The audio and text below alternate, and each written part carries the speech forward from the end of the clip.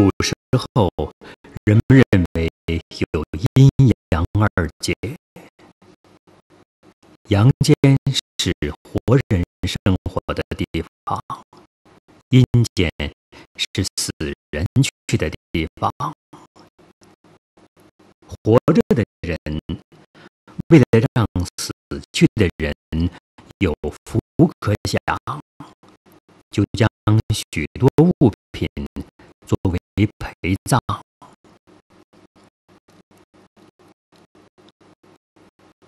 在中国古代陪葬品中，最为普遍的是俑。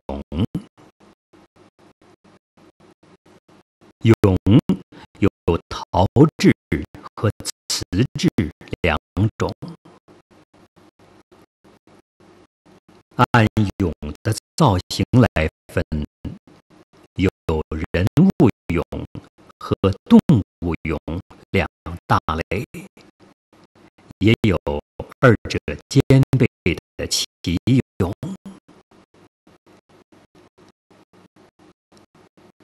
以俑陪葬始于战国时代，盛行于。秦汉隋唐，这里介绍给大家的是汉代陶俑。陶俑作为陪葬品来讲的话，它是从战国时就开始了。它这个里边呢，主要是分人物和动物两种。人物的话，就是有各种器型啊，什么弹琴的、跳舞的、吹竽的，属于器乐这一方面的。还有呢，就是农夫啊、马、战马这些都有的。我收藏来讲的话，大概就是分两个种类，一个就是人物用，一个就是动物用。它主要起陪葬的作用。当时啊，你如果一个人去。去世以后，为了他在所谓的阴间能够享享尽荣华富贵啊，这些人物啊、侍女啊，还有就是呃做工的这些佣人啊，他都把它捏成泥。人儿，主要是用于陪葬的。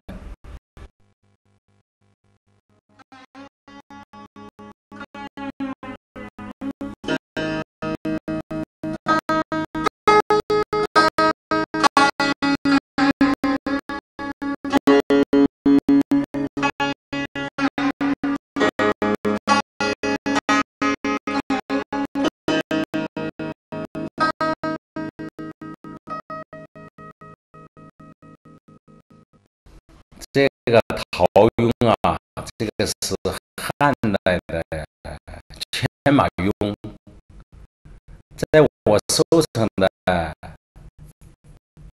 陶俑系列当中，这个是我最好的一个精品。说起收藏这件。牵马俑这个作品来讲的话，我收藏还是有一段经历的。在二十多年前，我买这个一个千马俑的时候，花了五千块。当时家里边人还跟我吵了，花那么多钱买那个这个。呃，百，你把给他来干啥呀？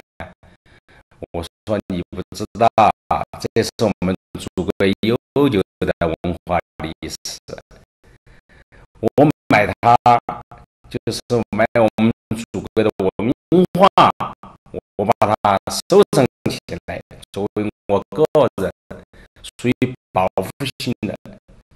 我总觉得这么优美的东西，如果流失走了，很可惜的。这个是我们明确的骄傲。所以在这个是天马用的这个呃陶器来讲的话，陶俑来讲的话，我觉得我看了一些上次那个呃汉代的那个马踏飞燕，他的这个造型啊，跟我这个收藏的这个呃千马用的话，这个马的生动程度只不过是国有千金而已。所以我这个呃千马用，我觉得还是很难得的，还是算是陶俑的珍品了。所以我上次一个朋友到我家，他看见他非常喜欢，他说：“你这么精美的让给他，他给我出价十万块钱。”我说：“我不卖，因为我收藏以后，呢爱的东西，我不想出让。”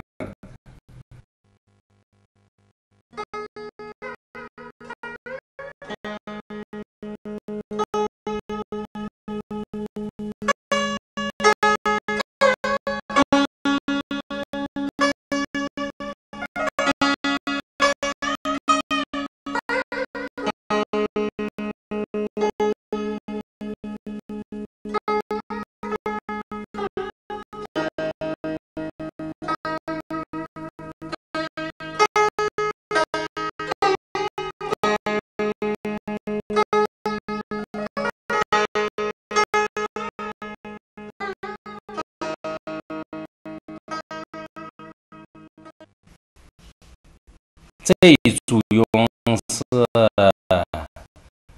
我前几年买的，它是一组，这个是吹玉的，这个是呃，这是吹箫的，这是吹玉的，这是听琴。它在这个墨组里边的话，这是一组，这一组的话，在陶俑这个系列当中的话，品种当中的话，还是很少的。一般的用的话，就是我们这边讲的。很单调，很小的，它没有什么动作的。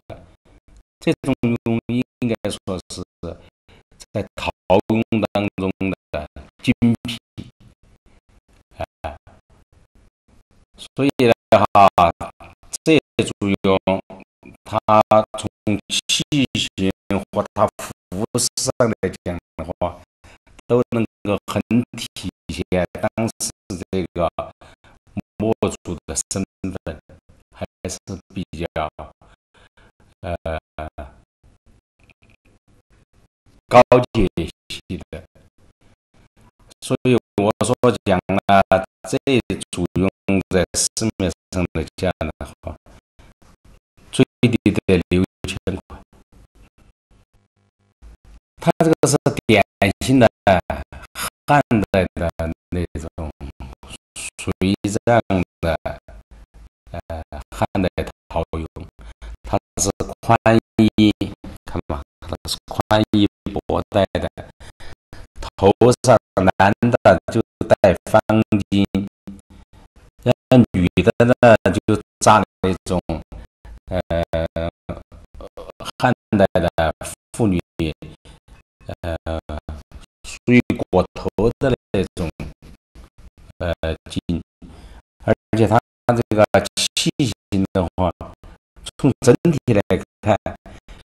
很比较完美的，你比如说这个听琴的这个用的话，他可能是专心专意在听这边给他吹，你看他的脸部的表情也很生动的，他的当时的话，可能这个墨主很喜欢音乐，他这组这个。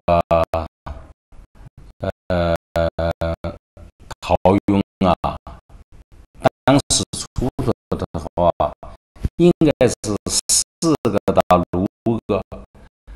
当时他出来以后，可能坏了几个，我只买掉这三个。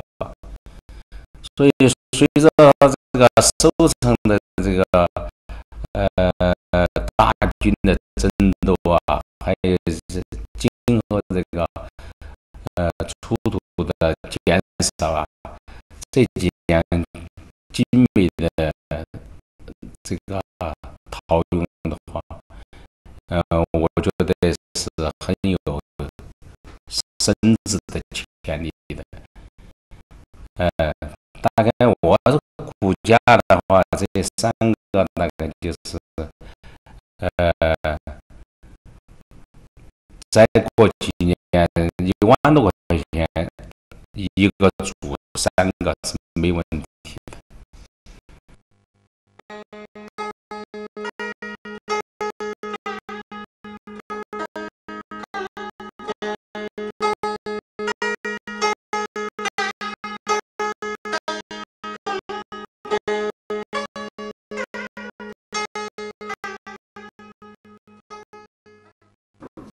这个陶俑啊，在汉代到现在已经好几千年了。由于它是属于低低温陶，所以它在城市方面的话很不容易保存的。而且它你看，我手上的这一面是一个。呃，拿琴的和一个跳舞的这两个用，它的器型又不一样，也是当时的一种比较典型的代表当时社会的一种呃风俗吧。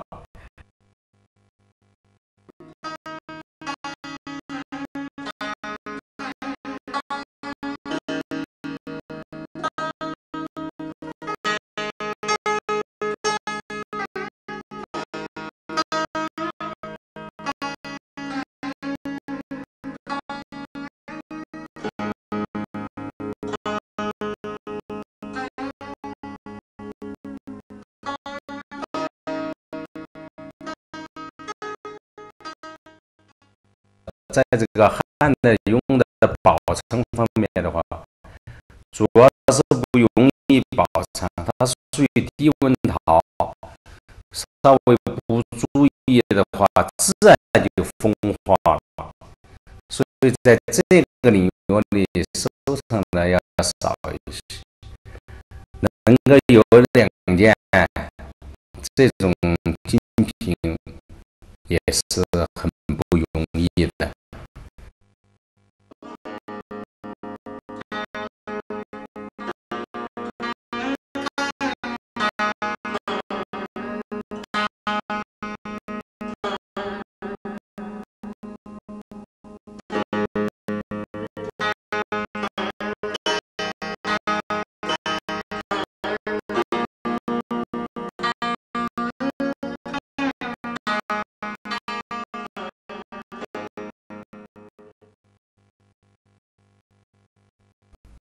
这件陶俑是汉代的一个厨师厨师俑，当时我我买的时候，我觉得很贴切，很奇怪的，怎么人死以后的话，连厨师的配比，可能他在阴曹里边儿像吃饭的原因吧？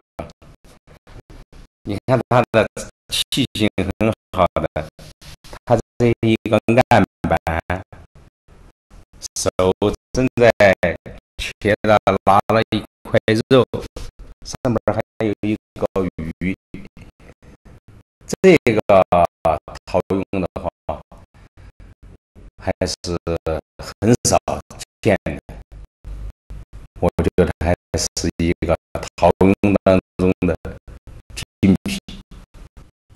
这种系列的陶俑叫厨师俑，因为它城市很少，所以在市场的价格的话，应该在三千以上。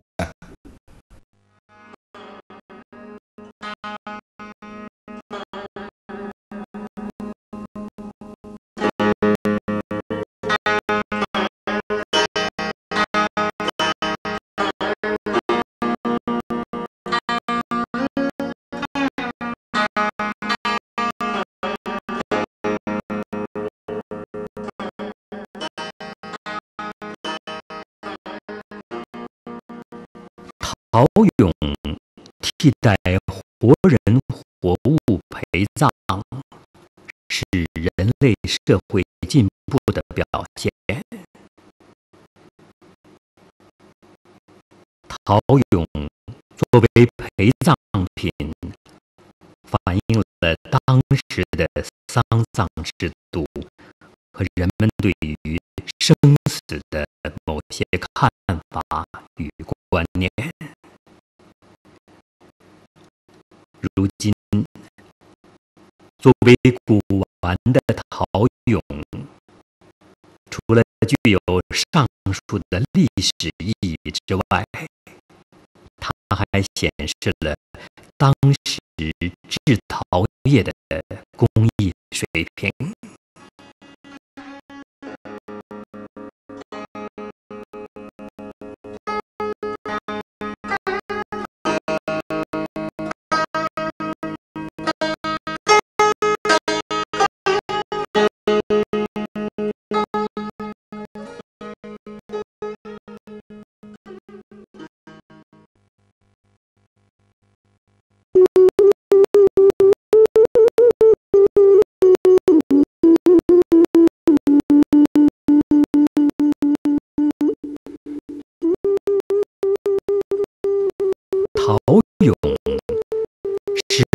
时候以人或动物的形象塑造、烧制而成的陪葬品。俑的出现，取代了以活人和动物陪葬的习俗，这是社会进步的体现。陶俑陪葬始于战国时代，后来一直延续到明清时期。如今，陶俑已成为古玩收藏的一个品种。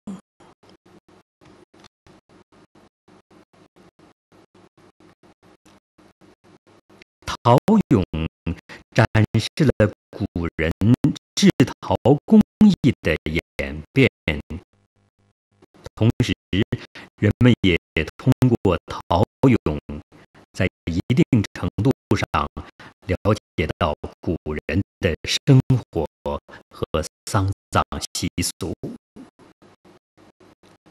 因此，陶俑是人们研究古代。社会生活的实物资料之一。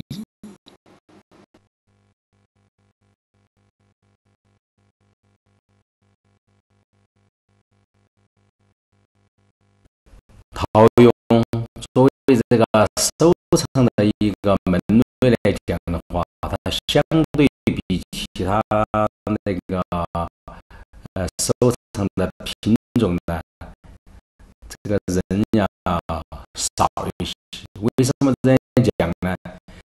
因为桃用它是易脆品，很容易打烂的，而且的话，现在你要不是每一个人你想收成桃用成系列很不容易的，真的是好的用的还是，因为好的用是不。不可能随时能到买到的，这个都是属于一种很好的用，属于一种风貌凝脚的。一般的用的话，人们又不愿意去收藏它，因为它不精美。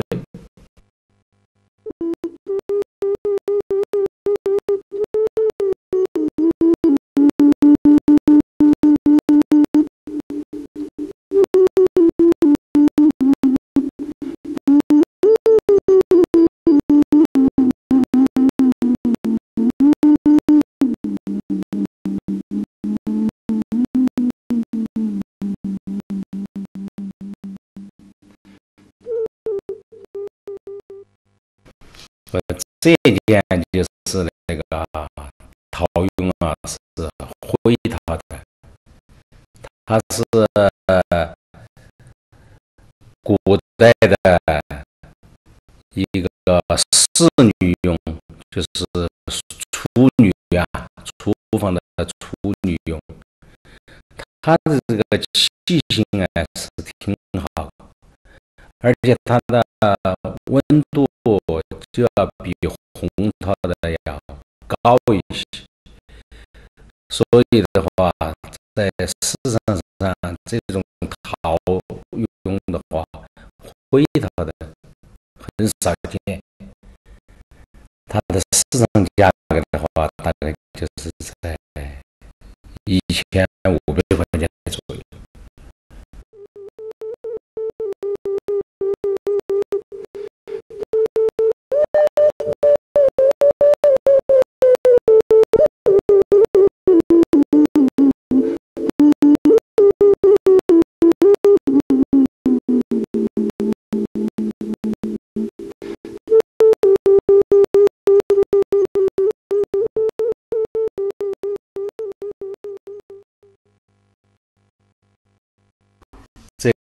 陶俑是汉代的打鼓俑，在我们祖国北京的那个中国的博物馆叫做里边也有一个这个打鼓俑，是大的，它是新都出土的，跟我们这个器型是一样的。他们也是属于同时代的这种陶俑，所以我我这个选小一点儿，我还觉得很很珍贵的，所以我一直把它珍藏起来。这个陶俑啊，它主要是。残残了，后边这个它没有了，后边没有，只有一半了。他当时制作这个红陶俑的时候，都是用的那个呃活胶板，就是用两个模子，一个前一个后，做好以后再把它活起来。就成一个整体了。现在它后边这个掉了，但是前面还是很生动。你看它的舌头啊，这些都凸出来了，是个打鼓的一个打鼓用，这个还是很珍贵的。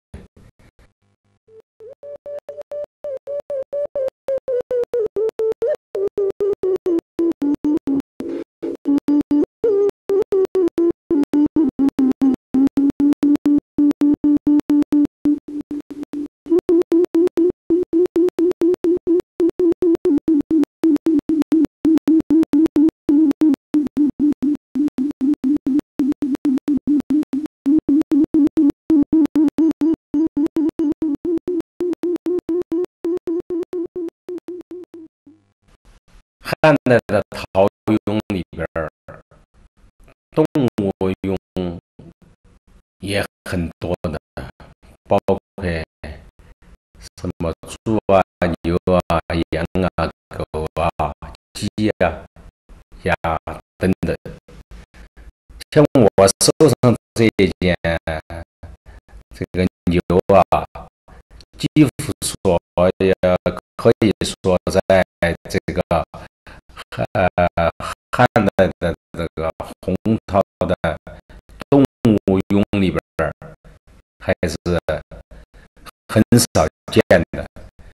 这个俑我在八年前，我当时我就花了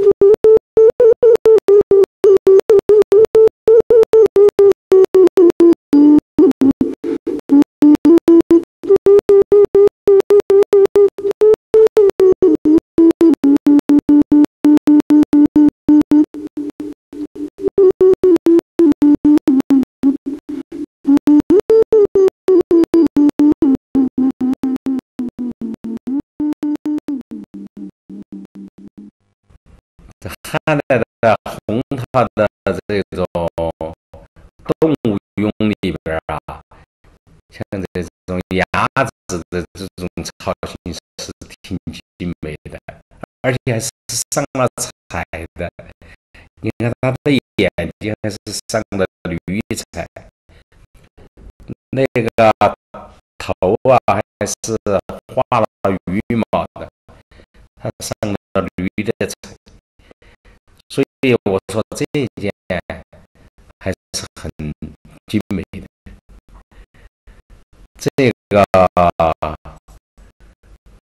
陶俑、鸭俑的话，在我们市面上也很难见，一般都是很小的。这个器型的话，呃。我在几年前买到的，我也作为我的陶的收藏当中的一种动物精品吧。大概市场价的话，现在大概就是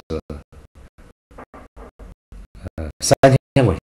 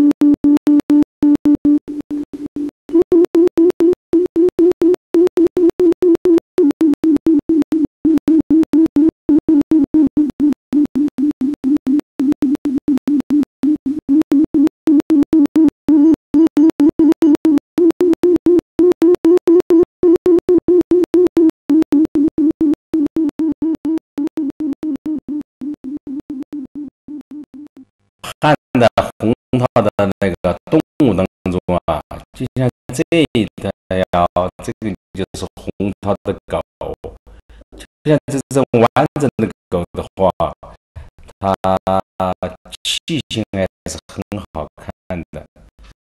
还有就是这个猪，猪也是汉代的，还有就是马，这种小马。也是汉代的，还有小鸭子和小青蛙，它都是属于陪葬的。还有一个当时想象力的一个珠宝，也我开像个河马一样。所以我就说啊，像我们祖国的这种汉代的这个市场收藏的价格呀，就是这种完整的，一般都是在八百块钱左右。你比如说一条狗啊，八百块啊，这些，它有人收藏的，根据品相和大小来定的。就像这些呢，就是三四百块，对不对？他收藏的话，就是根据个人不同的需要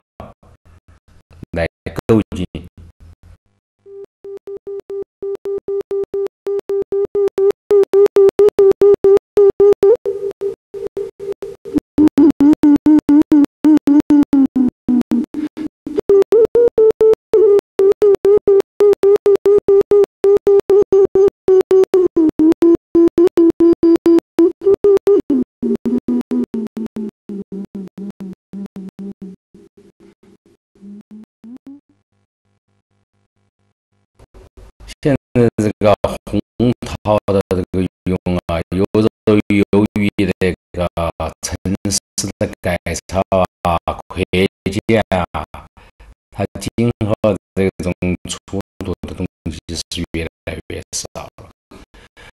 所以这个市场的价格的话，它这个呃，由于它的出市量少。收藏大军的增多的话，它在不断不断的在攀升。比如说前几年的一条狗完整的，就是七八百吧。你像现在来买就很难买到，起码得一千多到两千了。你说从这种器物啊，城市。多少还据根据个人的喜爱，这个价格的话很难估计。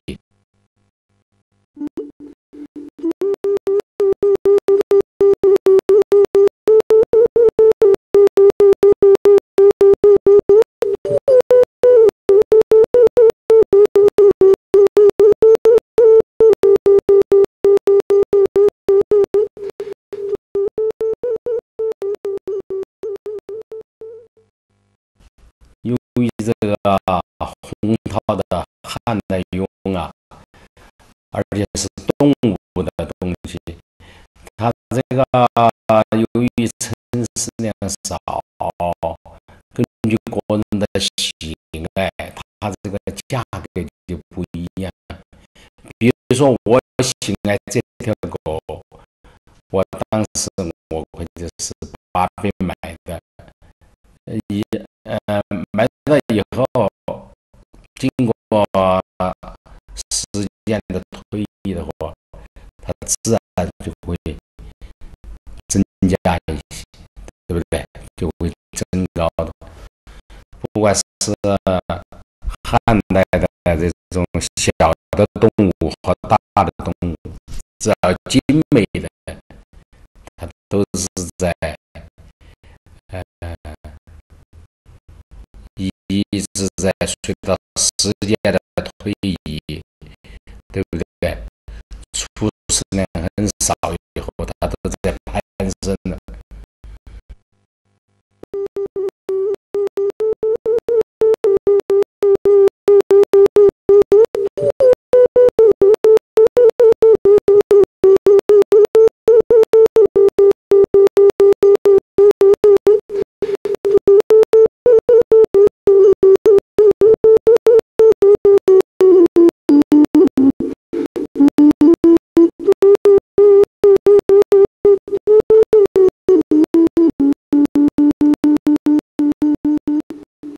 这些造型各异、制作精美的陶俑，距今已有两千年的历史了。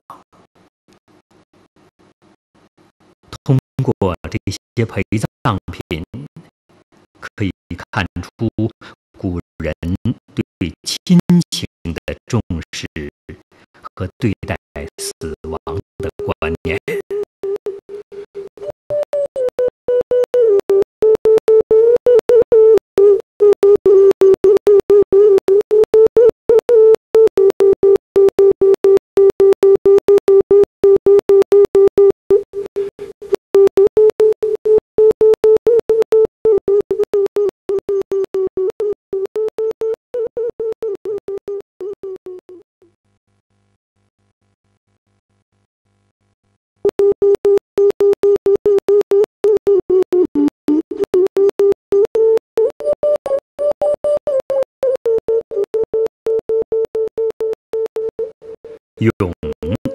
作为陪葬品，在中国已有两千多年的历史。俑有陶制和瓷制两种，以俑陪葬始于战国时代。兴盛于唐时期，到了明清两朝，逐渐衰微。本片介绍的是明代俑，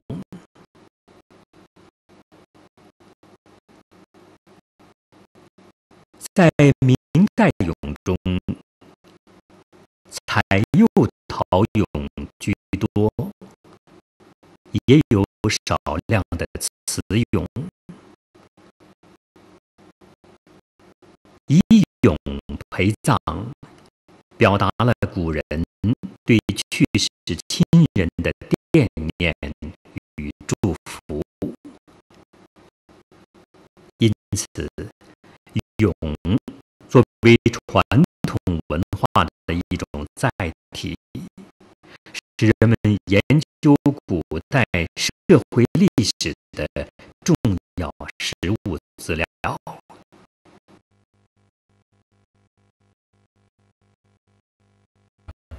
俑啊，从战国时发展，经过了汉代、呃唐代、宋代。代到明代了，我收藏的这组明代的用的话，它是一组儿童用，很少见的。他是当时一个当大官的一个官宦人家，他的孩子死了早以后。陪葬那一陪八个俑，我收到了是七个吧，造型各异，挺生动的。这套我也觉得还是很难得的，在俑里边的话，这个是三彩俑，上了釉的，它比红。好的要讲一些。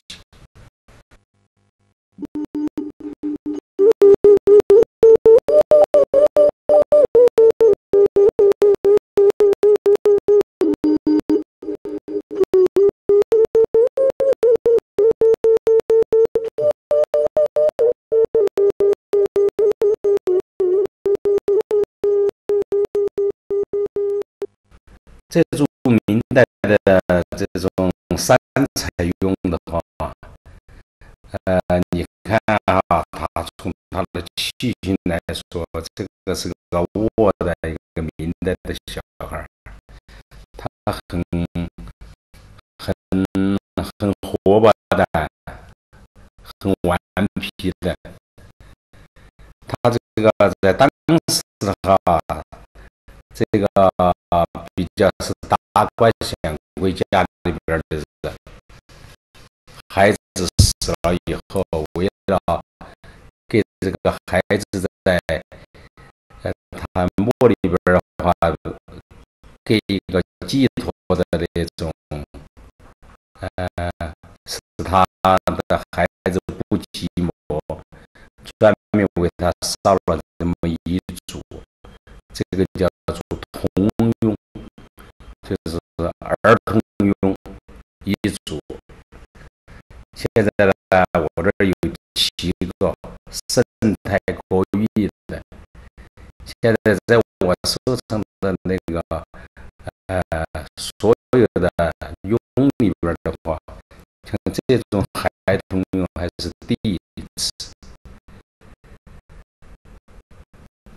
所以看起来是很不容易，很难得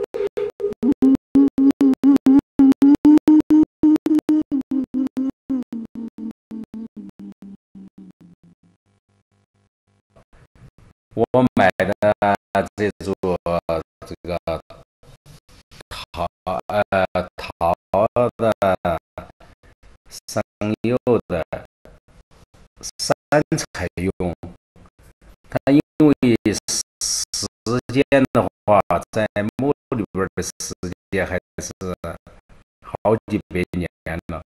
你看它整个形所造型都是翻了。水银，另外在这个所有的呃陶的那个收藏当中，商釉的还是很少，而且这种精品的通用更少，所以我在几年前我也买成六千块。通过这么多年下来，我看了一下市场上没有发现第二组这种用，所以我觉得还是比较珍贵的。我估计的。话，这么精美的。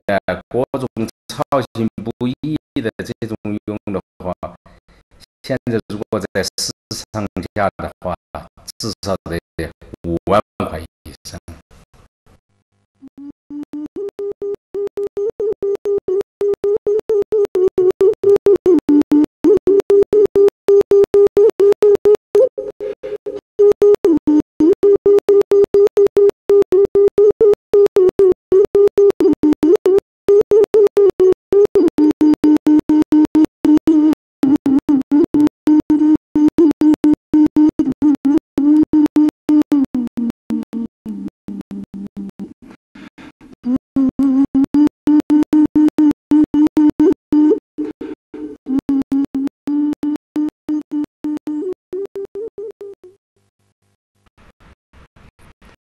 这真的是明代的青瓷俑，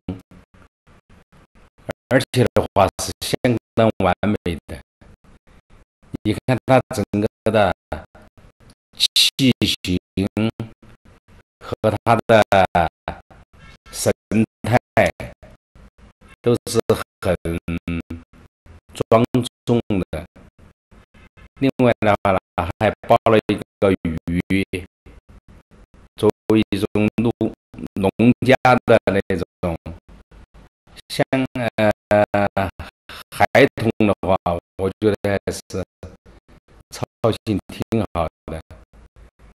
他这个青瓷范畴的这种小人用的话，是很少见的，而且是在墨场里边。呃，在收藏家来说的话，应该算是精品了。所以我觉得我收藏的这一件还是挺 完美的，心都很高兴的。大概它的市场价的话，应该是在五千块吧，啊，市场价在五千块左右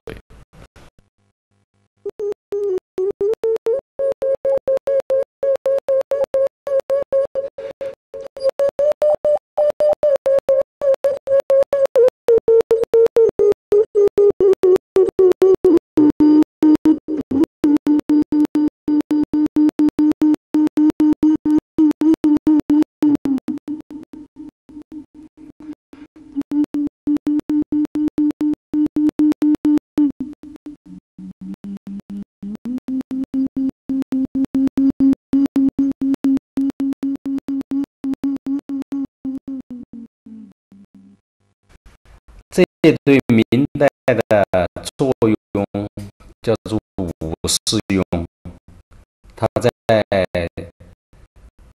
上三彩釉的用里边的话还是比较少的，一般的话是占用或者是作用，做的马上的这种多，这种少，而且。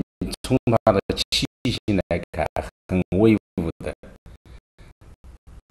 这么多年的时间，还保持他原来那种将军的风貌，这这对用还是很难得的。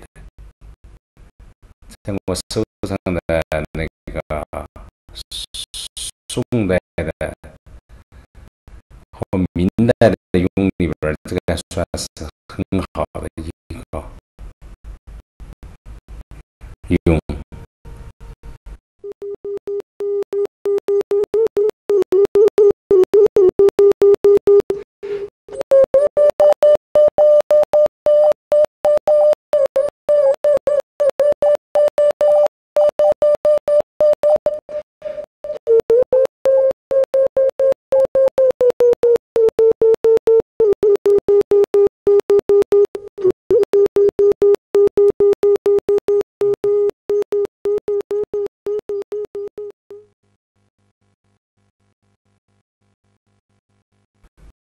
这对用的话，从它的器型和它面部来讲的话，造型相当好。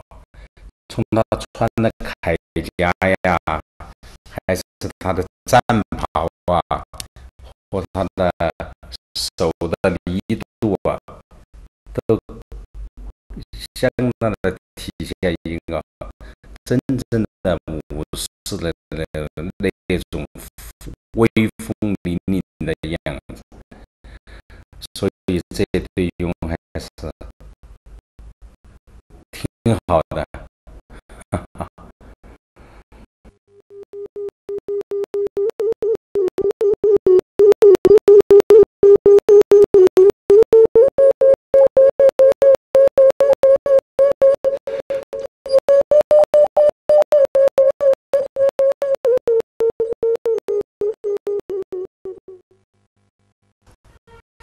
这对用，如果在我们现在的市场价值的话，应该达到一万八到两万块钱之间。